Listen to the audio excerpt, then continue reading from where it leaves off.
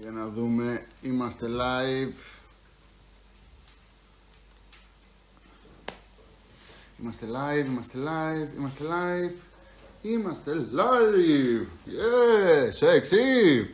Καλημέρα σας, τι κάνετε, πώς είστε, είστε καλά; Γεια σας. Άρχισαν ήδη να μπαίνουν και στο Instagram και στο Facebook. Σήμερα άρχισα λίγο 10 λεπτά. Ε, τι κάνετε, πώς είστε, είστε καλά; Καλημέρα, καλημέρα, καλημέρα, καλαμάρι, καλαμάρι. Λοιπόν, ανεβαίνουμε. Έχουμε 2.000 στο Facebook, 1.500 στο Instagram. Ανεβαίνουμε, ανεβαίνουμε, ανεβαίνουμε. Νομίζω ότι το σημερινό, η σημερινή μαγειρική είναι πάρα πολύ έτσι, ιδιαίτερη. Γιατί θα φτιάξουμε burgers. Θα σας δείξω τον καλύτερο τρόπο για να φτιάξετε burgers. Ε, εντάξει, είμαι ειδικός σε αυτά. Καταλαβαίνετε. Ε, ουσιαστικά θα σας αποδείξω ότι δεν χρειάζεται παραπάνω από 5 λεπτά για να φτιάξετε ολόκληρο το burger. Και θα μιλήσουμε για κάποια θέματα, θα εξηγήσουμε λίγο για τα κρέατα, θα εξηγήσουμε τι πρέπει ακριβώς να προσέχουμε όταν αγοράζουμε κρέας για να φτιάξουμε burgers και όλα τα υπόλοιπα. Είναι ένα βίντεο που νομίζω θα κρατήσετε. Ε, αναλυτικά βέβαια η συνταγή υπάρχει και στο YouTube, πώς να φτιάχνετε burgers. Θα έχουμε και τηγανιτές πατάτες. Και αν και σας φαίνεται απλό, να ξέρετε ότι οι τηγανιτές πατάτες είναι τέχνη. Έχουμε βίντεο για το πώς να φτιάξετε τις τέλειες τηγανιτές πατάτες. Ε, λοιπόν, να δώσω μερικά ε, γεια σε κόσμο. Γεια σου Μάκη Πουνέντι, γεια σου! Σεξι! Ε, Ελένη Πανάγου καλημέρα. Ε, Νίκη Καλοστεργίου καλημέρα. Δεν πειράζει λέει. Τιμωρία λέει για αύριο. Ε, Γιούλη Γιαννάκα καλημέρα. Να πω ότι θα φτιάξουμε burgers πάλι. Οπότε ανοίξτε τις οθόνες σας. Να ξυπνήσουμε πρωί πρωί και θα φτιάξουμε δύο burgers. Δύο burger δεν έχουν πληθυντικό. Ή έχουν. Όχι, δεν έχουν. Ε, θα φτιάξουμε δύο burger και θα φάω εγώ. Ε, can you make vegan burgers? Of course I can. Ε, υπάρχουν αναλυτικά στο YouTube, στο τέτοιο. Λοιπόν, για να μην σας, τα, σας, σας πρίξω παραπάνω, γιατί σήμερα και η μέρα δεν είναι ωραία. Γιατί να είναι τόσο μουντή η μέρα; Είναι η μέρα που πραγματικά θες να μπεις στο σπίτι και να μαγειρέψεις. Θα πάμε να ξεκινήσουμε κατευθείαν. Ε, παρακαλώ πάρα πολύ όσοι μιλάνε αγγλικά, γαλλικά, ιταλικά, ισπανικά να γράφουν από κάτω τα βήματα της συνταγής γιατί υπάρχουν κόσμο, ε, υπάρχει κόσμος από άλλες χώρες που μας βλέπει και δεν καταλαβαίνει το τι κάνω. Το λέω κάθε μέρα. Ε, θα το πω και σήμερα. Σήμερα το βίντεο είναι epic γιατί όντως, αν και υπάρχουν τα βίντεο το πώς να φτιάξετε μπέργκερ για τηγανιτέ πατάτες στο ίντερνετ, ε, στο YouTube, τα δικά μου εννοείται, ε, δεν μπορείτε να καταλάβετε το πόσο real time όντως μπορεί να γίνει σε 5 λεπτά ένα burger. Είμαι σίγουρος πως έχετε όλοι λίγο κοιμά στο ψυγείο σας, οπότε είμαι σίγουρος πως σήμερα θα φτιάξετε burgers. Πάμε στην κουζίνα. Πάμε. Λοιπόν, όλα λα. Η καινούργια θέση είναι εδώ. Κάτσε. Με αυτά, με αυτό. Πήγε εσύ, πήγε εδώ. Τέλεια. Μια χαρά. Εδώ είναι η θέση μας. Ε, πίσω έχω τηγανίσει τις πατάτες μόλις. Και είναι οι απόλυτες τηγανιτές πατάτες. Να βάλω μπολάκι. Για να σας δείξω. Ε, όχι, θα βγάλω σε ένα πιατάκι για να σας δείξω γιατί είναι, θα φαίνονται καλύτερες. Ας βρίσκω το μάτι εδώ.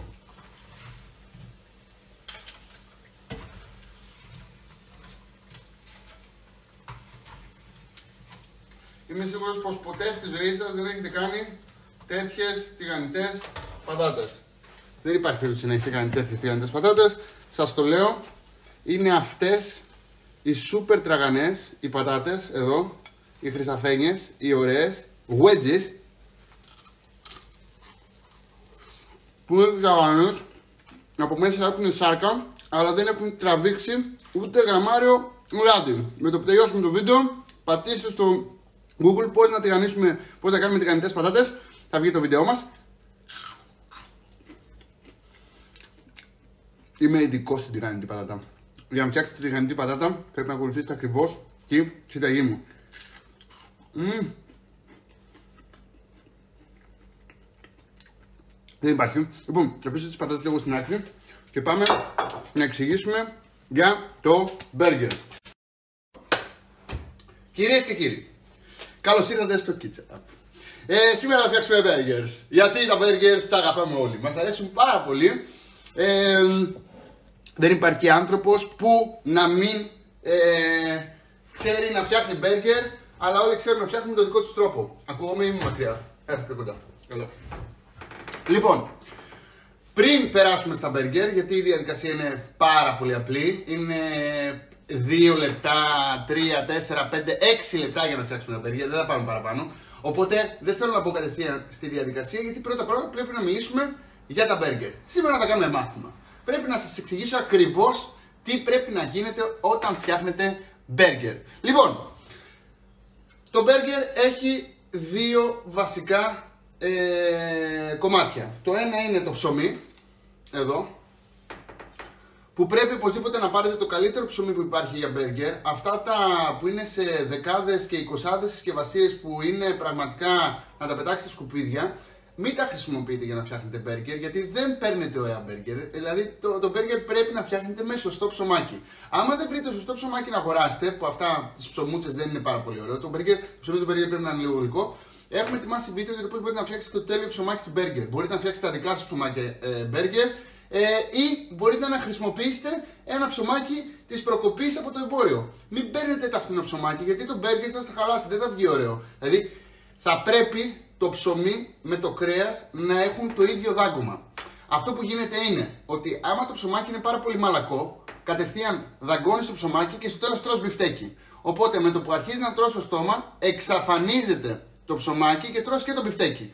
Αυτό δεν είναι μπέργκερ. Πρέπει συνδυαστικά και τα δύο να τρώγονται στην εντέλεια. Κάτσε να κατεβάσω λίγο αυτή την κάμερα γιατί καίγεται από πάνω το φως. Να κατεβάσω και αυτήν λίγο εδώ. Τέλεια. Άρα, όλα έχουν να κάνουν με τις συστάσεις και ουσιαστικά με τις δομές από το κρέας και το ψωμί. Το ψωμί με το μπέργκερ πρέπει να έχουν την ίδια σύσταση. Οπότε το ψωμί είναι πάρα πολύ βασικό. Το δεύτερο βασικό που πρέπει να προσέξετε, μισό λεπτάκι λίγο να φάμε μια παλατά. No. Ε, expert στην πατάτα. Το δεύτερο βασικό που πρέπει να προσέξετε είναι ο κοιμάς. Και πάμε τώρα να καταρρύψουμε κάποιους μύθους, να μάθουμε κάποια πράγματα, να τα πούμε στη μαμά μας, να τα πούμε στη γιαγιά μας, να τα πούμε και στον εαυτό μας. Λοιπόν, το, ο κοιμάς ή μάλλον το μπιφτέκι για το μπέργκερ, για να φάμε ένα μπέργκερ, πρέπει να έχει ακριβώς δύο υλικά, maximum τρία. Το ένα υλικό είναι κοιμάς, το δεύτερο υλικό είναι αλάτι. Άμα θέλετε να βάλετε και πιπέρι μπορείτε, αλλά χρειαζόμαστε τρία υλικά για να φτιάξουμε μπέργκερ. Έχει μπερδευτεί λίγο ο κόσμος με το μπέργκερ και το μπιφτέκι της μαμάς. Να σας πω ότι σε περίπτωση που πάρω έναν κοιμά και βάλω μέσα αυγό, ψωμί, ε, μαϊντανό, ε, μυρωδικά, το ένα, γάλα, το ένα, το άλλο, το παράλληλο. Δεν έχει σημασία άμα πάρω μοσχαρίσκο κοιμά ή χοιρινό κοιμά ή κοιμά από κουτόπουλο. Όλα βγάζουν ακριβώς την ίδια γεύση. Οπότε, άμα θα πάτε να δώσετε λεφτά για να αγοράσετε μοσχαρίσκο κοιμά και βάλετε μέσα αυγά, ψωμιά, μυρωδικά και όλα τα υπόλοιπα, χαλάτε το κοιμά. Ο κοιμάς πια δεν έχει γεύση. Σκεπάζετε όλη η γεύση του κοιμά του μοσχαρίσκου από όλα τα υπόλοιπα που βάζετε μέσα και στο τέλος, αντί για να φάτε ένα μπέργκερ της προκοπής και να νιώσετε το μοσχάρι, το ψωμί, την κέτσα, τη μαγιονέζα, το τυρί, νιώθετε όλα τα υπόλοιπα. Οπότε πραγματικά δεν φτιάχνετε μπέργκερ. Άμα φτιάχνετε μπέργκερ με αυτόν τον τρόπο, πείτε ότι φτιάχνετε ένα μπιφτέκι με ψωμάκι. Είναι κάτι διαφορετικό. Οπότε, άμα μπούμε στη διαδικασία να φτιάξουμε μπέργκερ, πρέπει οπωσδήποτε να αγοράσουμε έναν καλό κύμα και να σκεφτούμε. Κοιτάξτε κάλτσα σήμερα. Ωραίος. Ε, είναι με ανανά. Ε, οπότε, άμα αγοράσουμε κοιμά για να φτιάξουμε μπέργκερ, πρέπει οπωσδήποτε να πάρουμε καλό κοιμά. Ο κοιμάς μας πρέπει να έχει τουλάχιστον 20% και παραπάνω λιπαρά. Οπότε θα πάρουμε ή σπάλα ή λάπα ή κάποιο λιπαρό κομμάτι και ουσιαστικά θα βάλουμε αλάτι και πιπέρι. Τώρα, το τι κομμάτι αγοράζουμε από τον χασάπι μας. Θα πάτε στο χασάπι και θα σας πει να πάρει, ε, θέλω κοιμά για μπέργκερ θα του πείτε. Άμα αυτό σας βάλει κόντρα, μπούτι, ε, δεν ξέρω τι άλλο σας βάλει. Ο άνθρωπος δεν ξέρει τι του γίνεται. Πρέπει να του πείτε ότι θέλετε ή σπάλα ή λάπα ή συνδυασμό. θέλω ένα λιπαρό κρέας. Να σας πω ότι οτιδήποτε κρέας, άμα περάσει από τη μηχανή του κοιμά και σκληρό να είναι, γίνεται γιώμα, γίνεται μαλακό. Μπορεί να έχει μικρά δαγκωματάκια καθώς τρώμε το κοιμά, αλλά ουσιαστικά αυτό είναι το νόημα του κοιμά. Δηλαδή, οτιδήποτε περάσει από τη μηχανή, είτε είναι σκληρό είτε μαλακό, γίνεται burger.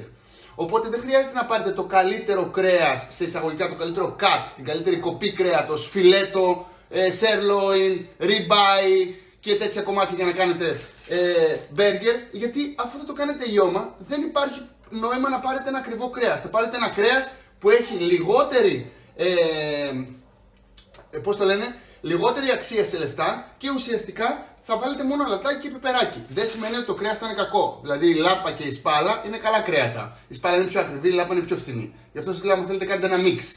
Συνδυασμό. Μισό λάπα, μισό σπάλα. Ε, οπότε, πολύ πολύ βασικό, άμα πείτε ότι φτιάχνετε μπέργκερ, θα φτιάξετε μπέργκερ και θα φτιάξετε μπέργκερ. Μην φτιάχνετε μπιφτέκια της μαμάς. Γι' αυτό το λόγο και εγώ στο Burger App, στο, στο μαγαζί, ε, ο κοιμάς που έχουμε είναι καθαρός μόνο με αλάτι. Δεν βάζουμε τίποτα άλλο. Γι' αυτό το λόγο και δεν βάζουμε και άλλα υλικά στο μπέργκερ. Δηλαδή, βλέπω σε πολλά μαγαζιά έχει μπέργκερ με τρούφα, με κατσικίσιο, με αυγό, με μπέικον, με μανιτάρια, με κρέμα γάλακτος. Με... Αυτό το κάνεις γιατί πραγματικά ο κοιμάς δεν είναι νόστιμος, οπότε θες να σκεπάσεις τη γεύση του κοιμά με κάτι άλλο. Άμα ο κιμάς σου είναι νόστιμος, το μόνο που χρειάζεται να βάλεις είναι τυρί και μπέικον για να συμπληρώσεις το, ε, το μπέργκερ. Και το μπέικον είναι υπερβολή, δηλαδή και μόνο με το τυρί είναι εντάξει. Μαγιονέζα, ε, κέτσαπ, ε, μπιφτέκι, τυράκι, τέλος. Οπότε, όταν πηγαίνετε σε μαγαζιά και παίρνετε ένα μπέργκερ με μανιτάρια, αυγά, κατσικίσια, τρούφες και το ένα και το άλλο, ok, okay, μπορεί να είναι εντυπωσιακό και να έχει 3.500 θερμίδες, απλά ουσιαστικά το μπιφτέκι, οτιδήποτε και αν είναι, δεν έχει καμία σημασία γιατί δεν θα καταλάβετε γεύση. Γι' αυτό το λόγο καλύπτεται η γεύση. Οπότε, άμα βάλουν ε, κρέας από καμπουρογαμόσαυρο, σε συνδυασμό με τυρανόσαυρο ρεξ και νύχια πτεροδάχτυλου, πάλι ακριβώς την ίδια γεύση θα έχει με τον υπέροχο το μοσχαρίσιο κιμά. Το πιάνετε. Όταν πηγαίνετε να τρώτε μπέργκερ, επειδή ο κοιμάς είναι κάτι επίφοβο και πρέπει να ξέρουμε ακριβώς τι τρώμε, πάντα η εκδοχή του μοσχαρίσιου κιμά σας να είναι απλή. Τυρί και τίποτα άλλο. Χτυπάει το τηλέφωνο μου. Διαφημιστικό θα είναι. Ε, δεν θέλουμε ε, μπιφτέκια της μαμάς. Θα πάρουμε μόνο ε, κανονικό μοσχαρίσιο κιμά. Το πιάσατε guys. Ε; Τώρα, η άλλη διαδικασία όταν φτιάχνουμε μπιφτεκάκια και κεφτεδάκια της μαμάς και όλα τα υπόλοιπα μπορούν να γίνουν κανονικά με το ψωμάκι γιατί είναι άλλη συνταγή, είναι άλλο πράγμα. Τηγανίζουμε τους κεφτέδες. Δηλαδή, είναι άλλη συνταγή που και εκεί πέρα πάλι να χρησιμοποιήσετε 100% μοσχαρίσιο κοιμά για κεφτεδάκια. Είναι χαζό να δώσετε τόσα λεφτά όταν μπορείτε να κάνετε τη συνταγή με χοιρινό κοιμά που είναι ούτε τη μισή τιμή από το μοσχαρίσιο. Δηλαδή είναι χαζό να παίρνετε μοσχαρίσιο κοιμά για να τον κάνετε και φτεδάκια. Πάρτε χοιρινό, θα έχει ακριβώς την ίδια γεύση με το μοσχαρίσιο και ίσως και καλύτερη και βέβαια θα είναι πολύ πιο οικονομικό. Όταν παίρνετε μοσχάρι και αρνί, γιατί και ο αρνίσιο κοιμά έχει την ίδια φιλοσοφία, δεν θα τον πειράζετε, δεν θα βάζετε πράγματα μέσα. Μόνο αλάτι και πιπέρι. Τώρα, Πάμε να φτιάξουμε τα, τα μπέργκερ μας. Πριν, πριν φτιάξουμε τα μπέργκερ, να σας πω ότι το μόνο πράγμα που θέλω όταν πάτε στο χασάπι να ζητήσετε μοσχαρί στο κιμάκι θα πάρετε ή σπάλα ή λάπα ή συνδυασμό. Θα του πείτε ότι όταν το περάσει από τη μηχανή του κιμά να μην το τυλίξει δυνατά. Να μην το σφίξει. Γιατί όταν το σφίγγει το. Επειδή δεν βάλουμε μέσα ψωμιά, λάδια και όλα τα υπόλοιπα, άμα σφίξει το κιμά, το κολαγόν από το κρέας κολλάει και ουσιαστικά σφίγγουν πάρα πολύ τα μπιφτεκάκια μας. Οπότε τι θέλω, θέλω να του πείτε να το αφήσει αεράτο όταν το βγάλει από τη μηχανή του κιμά και ουσιαστικά αυτό θα είναι ο κιμάς που θα φτιάξουμε τα μπέργκερ μας. Τώρα, πάμε να ξεκινήσουμε. Το πρώτο πράγμα που ε, θέλω να ρωτήσω σε όλους είναι άμα θέλετε bacon στο μπέργκερ ή δεν θέλετε. Οπότε ο πρώτος που θα μου πει ναι ή όχι θα το ακούσω. Λοιπόν, για πείτε, θέλετε ε, bacon στο μπέργκερ ή δεν θέλετε; Θέλετε, θέλετε μπέργκερ ή δεν θέλετε bacon ή δεν θέλετε; Ο καμπουρογαμόσαυρο είναι πεντανόστιμος. Φάουλο Άκης, η μυρτογαβαλά. Δεν είναι τόσο νόστιμος. Ε, το μοσχάρι το παίρνουμε λόγω ποιότητας και όχι, και όχι γεύσης. Τι βλακίες είναι αυτές που λες, Ρε Κατερίνα και η Παρίσι; Από τη στιγμή που τηγανίζεις το κοιμά σου δεν υπάρχει ποιότητα. Τελείωσε. Δεν έχει καμία σχέση. Και ο χοιρινός κύμα είναι μια χαρά. Άμα δεν βάλουμε τα λιπαρά κομμάτια. Ε, λοιπόν, άρα θέλετε όλοι μπέικον. Γράφουν ναι και ο Πουνέντης και ο Τάρικ, άρα είμαστε καλά. Λοιπόν, φύγαμε εδώ Εδώ τηγάνισα τις πατάτες μου. Ξαναλέω ότι σε περίπτωση που θέλετε να δείτε πώς να φτιάξετε τις τηγανιτές πατάτες τέλειες, τηγανίστε τις πατάτες. Ε, και το bacon ξαναλέω ότι είναι υπερβολή. Μπορείτε και να μην το βάλετε. Λοιπόν, έχω ένα τηγανάκι. Έτσι βάζω λίγο φωτιά. Και επειδή ε, το bacon που έχω εδώ πέρα είναι σχετικά άλυπο, έχει να κάνει εντελώς με την κοπή και τη συσκευασία που θα πάρετε. Προσέξτε τη συσκευασία όταν την αγοράσετε από το σούπερ μάρκετ. Φαίνονται ποιες έχουν περισσότερο λίπος και ποιες έχουν λιγότερο. Γιατί η πανσέτα στο κρέας, το χοιρινό εδώ, ε, προς τα πάνω έχει λιγότερο κρέας, προς τα κάτω έχει περισσότερο λίπος. Όχι, προς τα πάνω έχει ε, λιγότερο λίπος, προς τα κάτω έχει χειρότερο λίπος. Ε, περισσότερο λίπος. Οπότε, αναλόγως ποιο κομμάτι πάρετε από την πανσέτα πάνω στο κρέας, έχει περισσότερο λίπος ή λιγότερο. Οπότε αυτή είναι από πάνω πάνω Οπότε δεν έχει ε, τέτοιο, δεν έχει λίπος, γι' αυτό το λόγο θα χρειαστεί να προσθέσω λίγο λαδάκι. Ελάχιστο λαδάκι. Εδώ και εδώ. Βάζω τρεις φέτες bacon γιατί βάζω μια μισή φέτα bacon στο τέτοιο, πώς το λένε, ε, στο burger μου. Είναι η συνταγή που πάντα πετυχαίνει. Λοιπόν, όσο ώρα ψήνει το bacon, πάμε εδώ. Θέλω να φτιάξω δύο burger. Ένα, είναι αρκετό. Δεν, δεν το πιέζω πολύ με τα χέρια. Ίσα ίσα τα αγκαλιάζω να κάνω μία μπαλίτσα. Δεν θέλω να το σφίξω με τα χέρια γιατί χαλάει η σύσταση από το μπιφτέκι μου. Ε, τα μπιφτέκια μας θα είναι περίπου 180 γραμμάρια γιατί είναι, είναι λιπαρός ο κοιμάς οπότε θα βγάλει λίπος και όταν θα βγάλει λίπος θα μείνει γύρω στα 120-130 είναι πολύ βασικό να σκεφτόμαστε ότι τα μπιφτέκια μας θέλουμε να γίνουν να βάλω λίγο ακόμα εδώ Τέλεια. Και τέλεια. Άρα έχω δύο ωραίες μπαλίτσες εδώ. Μία, δύο. Και ως τώρα δεν έχω βάλει τίποτα. Πάμε στο bacon. Καλά, το bacon έτσι όπως το κάνουμε, ξέρετε, δεν γίνεται πολύ τραγανό. Έχω tip στο YouTube πώς να κάνετε το bacon super extra τραγανό. Σας το λέω. Ε, λοιπόν, τι θέλω. Θέλω να γυρίσει το bacon μου εδώ. Γυρνάω από τη μια πλευρά, γυρνάω από την άλλη. Εσείς βέβαια στο σπίτι δεν θα γυρνάτε με τα χέρια. Γιατί καταλαβαίνετε ότι τα κάνετε. Δεν τα κάνουμε ποτέ. Ε, και αρχίζουμε να μαζεύουμε τα πραγματάκια μας λίγο δίπλα. Θα πάρουμε ένα ξύλο κοφρί. Εδώ. Και μπέικον έτοιμο. Ένα, δύο, τρία. Πάντα ξεκινάμε ψήνοντας το μπέικον εφόσον βάλουμε μπέικον. Δεύτερο πράγμα που ψήνουμε είναι στο ίδιο τηγάνι που έχουμε εδώ πέρα ψήσει το bacon, εδώ, θα προσθέσω μία σταγιά πάλι λαδάκι και θα ψήσω το ψωμί. Το δεύτερο πράγμα που ψήνουμε είναι το ψωμί και συγχρόνως με το ψωμί τι κάνουμε, καθαρίζουμε το τηγάνι μας από αυτό που έβγαλε το bacon. Εδώ. Γιατί θέλουμε όταν ψήσουμε το πιφτέκι μας το τηγάνι μας να είναι πεντακάθαρο. Και όταν λέω πεντακάθαρο το εννοώ. Κοιτάξτε εδώ. Ψήνουμε το ψωμί από τη μία πλευρά και έχω καθαρίσει 100% το τηγανάκι μου και όλη η γεύση από το bacon έχει πάει εδώ. Μαζί με το λαδάκι μπορείτε να βάλετε βούτυρο, αλλά δεν χρειάζεται. Αν το λάδι είναι καλό, θα μυρίσει και ωραία ελαιόλαδο. Οπότε, το ψωμάκι μου είναι έτοιμο, εδώ και εδώ. Και έχω ένα τηγάνι που καίει, χωρίς καθόλου λάδι, χωρίς τίποτα. Τώρα, έχω τα μπιφτέκια μου εδώ, δύο μπαλίτσες και όπως βλέπετε δεν τις έχω πατήσει με το χέρι, δεν τα έχω πλάσει καθόλου. Γιατί όταν φτιάχνουμε μπέργκερ δεν πρέπει να πλάσουμε καθόλου το κιμά μας. Και Άμα βλέπετε ότι έχει πολλά λιπαρά ο κοιμά σας, τότε δεν χρειάζεται να προσθέσετε λάδι. Άμα βλέπετε ότι έχει λίγα λιπαρά ο κοιμά σας, τότε θα χρειαστεί να προσθέσετε λάδι. Αλλά το λάδι που θα προσθέσουμε είναι τόσο. Έβαλα μία κουταλιά της σούπας. Δεν έχω βάλει παραπάνω. Εφόσον ο κοιμά μου είναι λιπαρός. Άμα ο κοιμά μου δεν είναι λιπαρός, θα χρειαστεί να βάλω παραπάνω. Και τώρα, παίρνω τις μπαλίτσε μου, τις βάζω μέσα στο τηγάνι και έτσι όπως τις βάζω στο τηγάνι, κατευθείαν παίρνω μία σπάτουλα. Βλέπετε. Εδώ και εδώ γυρίσω λίγο εδώ, μπράβο, και εδώ, μπράβο. Παίρνω μια σπάτουλα και πατάω το ένα μπιφτέκι, εδώ. Μία φορά θα πατήσετε τον κιμά σας, εδώ. Και ένα μπιφτέκι εδώ. Πατάω λίγο με τη σπάτουλα, εδώ. Και το μπιφτέκι δεν πρέπει να πάρει τέλειο σχήμα. Σε περίπτωση που γίνει τέλεια ίσιο στρόγγυλο, Κάποιος έχει κοιτάξει να φτιάξει το σχήμα, οπότε κάποιος το έχει παραανακατέψει, οπότε θα βγει πάρα πολύ σφιχτό το μπιφτέκι μας και είναι κάτι που δεν θέλουμε. Κοιτάξτε εδώ.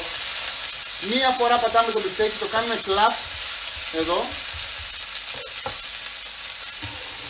και θα χρειαστεί περίπου 180 με 200 γραμμάρια ε, κιμάς θα χρειαστεί περίπου 2-3 λεπτάκια από τη μία πλευρά και 2 λεπτάκια από την άλλη πλευρά. Λοιπόν, αφήνω τον κοιμά μου εδώ, δεν τον πειράζω, βλέπετε, δεν τον κουνάω όλη την ώρα. Τον αφήνω εδώ να ψήνεται με το μηδεν, μηδαμινό λαδάκι που έχει. Κοιτάξτε εδώ, δεν έχει καθόλου λάδι. Και έρχομαι πίσω εδώ. Όπαλα. Πάμε τώρα να ετοιμάσουμε τα υπόλοιπα υλικά που χρειαζόμαστε για τα μπέγκερ. Έχω λίγο τυρί εδώ. Θα τα δούμε στη συνέχεια αυτά. Ξέρω να γυρίσω για να βλέπετε. Τέλεια. Και αυγό θέλετε στο μπέργκερ; Όχι, ε. Μπράβο. Αν μην βάλουμε αυγό, είναι αμαρτία του Θεού. Του πάει μερικές φορές, αλλά τώρα δεν θέλω να βάλω εγώ. Λοιπόν, θέλω μία ντομάτα. Και έχω λίγο μαρούλι εδώ.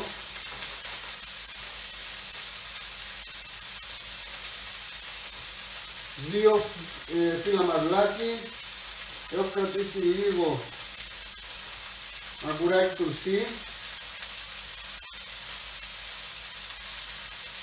και βίντεο για το πώς μπορεί να φτιάξει τα αγκουράκι τουρσί έχω στο YouTube σε 10 λεπτά έχει τα αγκουράκι τουρσί σπιτικό πιο ίσως το Λοιπόν, ε, και θέλω ένα μαχαίρι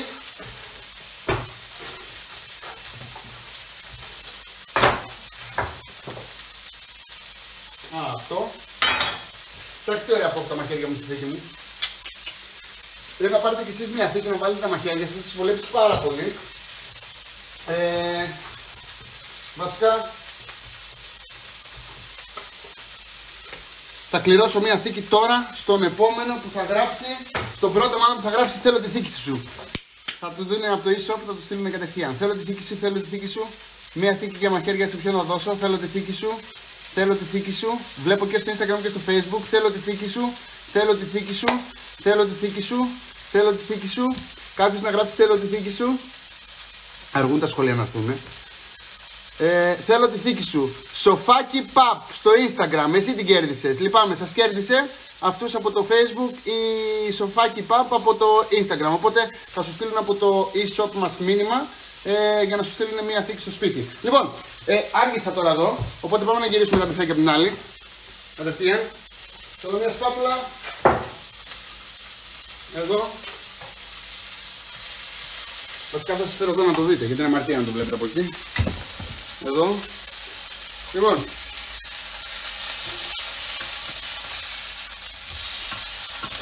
Εδώ.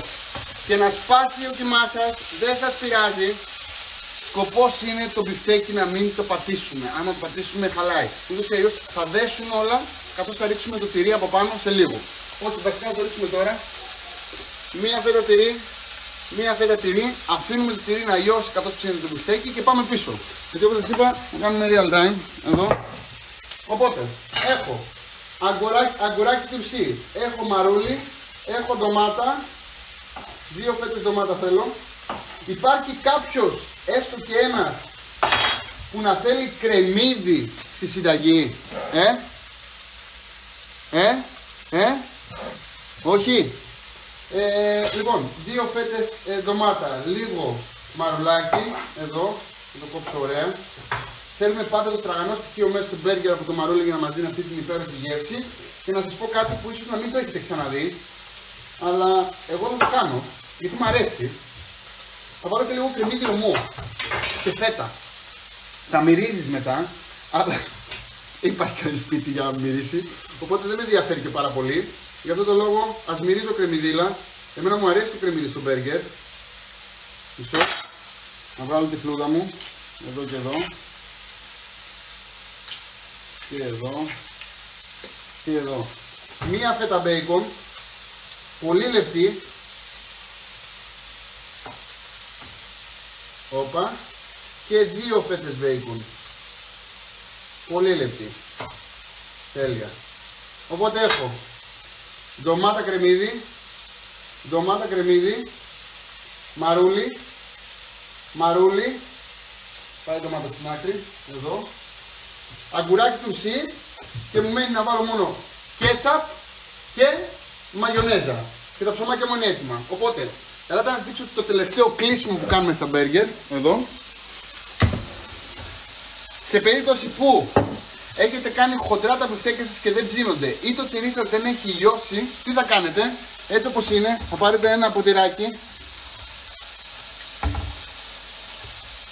Τέρμα είναι το μάτι μου, μπράβο. Θα πάρετε ένα ποτηράκι, μισό λεπτό να κλείσει η καφετιέρα μου. Κοιτάξτε εδώ, πόσο ωραία που είναι τα μπιφτέκια μου. Θα πάρετε λίγο νεράκι, κλείσε βρε καφετιέρα. Πάντα δεν πατάω με την καφετιέρα, την αφήνω ανοιχτή γιατί κάνω καφέ να πιω πριν ξεκινήσουμε και μπράβο. Λοιπόν, κοιτάξτε εδώ, θα ρίξετε δύο κουταλιές της σούπας νερό, μία κουταλιά της σούπας για κάθε μπιφτέκι που έχετε, αλλά γενικά μην βάλετε παραπάνω από δύο σε ένα τηγάνι. Εδώ, φαίνεται. Φαίνεται; Φαίνεται. Φαίνεται. Εδώ. Θα ρίξουμε δύο κουταλιές της σούπας νερό, θα καπακώσουμε να δημιουργήσουμε υδρατμό μέσα πάρα πολύ για να λιώσει το τυρί, να ψήσεις μέχρι μέσα μέσα το μπιφτέκι και θα αφήσουμε για 30 δευτερόλεπτα. Οπότε τα μπιφτέκια μου είναι έτοιμα. Τώρα θα τα βγάλουμε, θα σας δείξω ακριβώς τι έχουμε κάνει. Και ήρθε η ώρα επιτέλους να στήσουμε αυτό το υπέροχο ξύλο κοπής. Λοιπόν, έχω εδώ τις πατάτες μου. Έχω φτιάξει μπέργκερ για δύο σήμερα, έτσι. Εδώ και εδώ. Έχω τα ψωμάκια μου. Ένα-δύο. Και αυτό που πρέπει να θυμάστε πάντα μα πάντα είναι ότι τη μαγιονέζα δεν τη βάζουμε από κάτω. Γιατί άμα βάλουμε τη μαγιονέζα από κάτω, το μπιφτέκι καθώς είναι καυτό θα λιώσει τη μαγιονέζα και θα την κάνει νερό. Οπότε πάντα μα πάντα τι βάζουμε από κάτω, τη σάλτσα μας. Ε, μπορείτε να βάλετε είτε ketchup είτε barbecue. Εγώ θα βάλω λίγο ketchup από κάτω γιατί η ketchup πρέπει να ακουμπήσει τι, πρέπει να ακουμπήσει το κρέας και να ολοκληρώσει το κρέας. Τα μπιφτέκια μου είναι έτοιμα. Εδώ. Και υπάρχει. Κοιτάξτε εδώ πόσο έχει λιώσει το τυρί. Το βλέπετε. Κοιτάξτε πόσο υπέροχο που έχει γίνει. Όλα Ένα μπιφτέκι δύο μπιφτέκια. Αυτό πάει στην άκρη. Μπέικον. Μπέικον. Όπως είπα, δεν ξέρω γιατί, αλλά μου έχει κολλήσει να βάζω μία μισή φέτα μπέικον στις δικές μου τις μερίδες. Στον μπέργκερα που βάζω δύο. Ε, εγώ θέλω μία μισή. Δεν ξέρω γιατί. Λοιπόν, μαρούλι, ντομάτα κρεμμύδι. Μαρούλι, ντομάτα κρεμμύδι. Και τώρα, στο πάνω ψωμάκι βάζουμε πάντα τη μαγιονέζα. Γιατί, Γιατί η μαγιονέζα είναι μια σος που ουσιαστικά θα αγκαλιάσει μαζί με τα λαχανικά και τρώγεται κρύα. Οπότε, άμα βάλω τη μαγιονέζα από κάτω, δεν βάζω πολύ, βάζω πολύ λίγο. Άμα βάλω από κάτω τη μαγιονέζα, τι γίνεται, πέφτει το ε, καυτό μπιφτέκι πάνω στη μαγιονέζα, τελειώνει και γενικά χαλάει το μπέργκερ μας. Οπότε, σκεπάζω από πάνω, ένα και εδώ, δύο, λίγο μαγιονέζα. Κοιτάξτε πόσο λίγο βάζετε. Μην βάλετε πολύ μαγιονέζα, είναι τσάμπα θερμίδες. Θέλουμε, επειδή από την πάνω μεριά είναι στεγνό, να μου φτιάξει αυτή τη γεύση από πάνω, αλλά ουσιαστικά να μην γεμίσει θερμίδες στο μπέργκερ μου. Λοιπόν, από πάνω μαγιονέζα, έχω ένα γκουράκι τουρσί εδώ.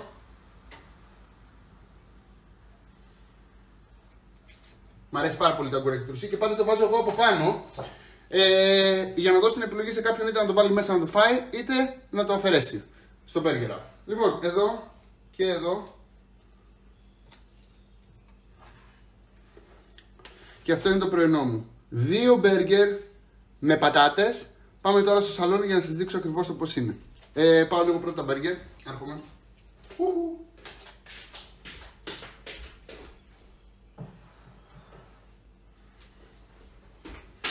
Σβήνω το μάτι. Εν μεταξύ πρέπει να ρίξω και λίγο κέτσα πάνω στις πατάτες. Μπειράζει. Θα έρθω μετά να πάρω κέτσα. Για να δείτε. Λοιπόν. Και τώρα η αγαπημένη μου στιγμή. Η στιγμή που μοιράζομαι μαζί σας τα μπέργκερ. Λοιπόν, πλην της θεωρίας που είχαμε να πούμε και να λέμε τόσα πράγματα τόση ώρα για τα μπέργκερ, να σας πω ότι για να φτιάξετε μπέργκερ, πόση ώρα μας πήρε συνολικά, guys; Για πείτε. Ε, μας πήρε 5 λεπτά και αν. Και αν. Δηλαδή είναι αμαρτία από το Θεό να μην φτιάχνετε μπέργκερ δικά σας. Εντάξει. Η αλήθεια είναι πως άμα φτιάχνετε δικά σας θα κλείσει το μαγαζί. Αλλά η αλήθεια είναι πως αυτό το ψωμάκι και το κοιμά που χρησιμοποιώ εγώ δεν πρόκειται να το βρείτε ποτέ στη ζωή σας. Αλλά θα φτάσετε πάρα πολύ κοντά άμα φτιάχνετε στο σπίτι σας. Λοιπόν, το μπέργκερ είναι εδώ. Ενωμένο δυνατό. Mm.